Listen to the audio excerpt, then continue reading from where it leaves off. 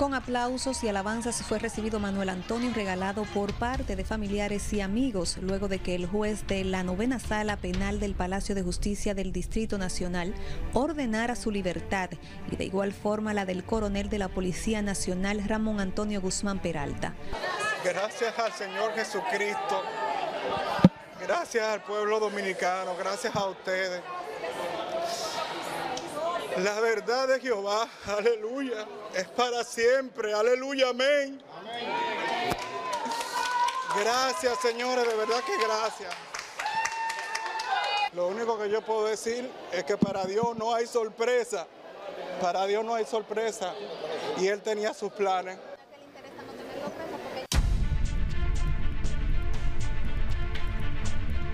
Horas antes de esta decisión, el gobierno dominicano ordenó al Ministerio Público detener la investigación sobre el fallo en las elecciones municipales y asimismo solicitó a la Organización de Estados Americanos y otros estamentos para que estos hagan la indagatoria del caso.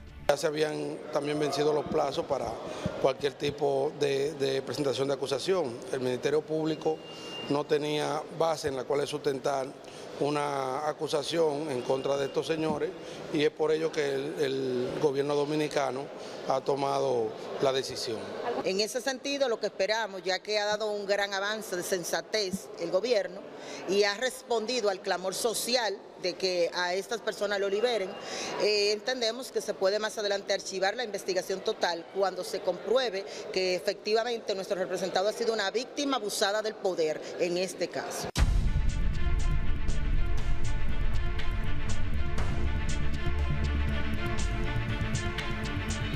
Nosotros creemos que felicitamos esa decisión porque nunca debieron estar presos, eso es lo primero. No, nunca se ofreció justificación para que estuvieran arrestados. Si la Procuraduría tenía alguna sospecha y quería investigar, podía hacer su investigación como la puede seguir haciendo ahora.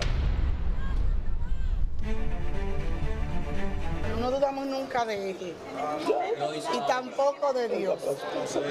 Dios es el protagonista en todo esto. A Dios, la prensa y todo el pueblo dominicano por el apoyo que nos ha brindado en este proceso tan doloroso para esta familia. Gracias. De verdad que no tengo palabras para agradecerle a todos. El viernes 28 de este mes, el Tribunal Superior Electoral leerá el fallo.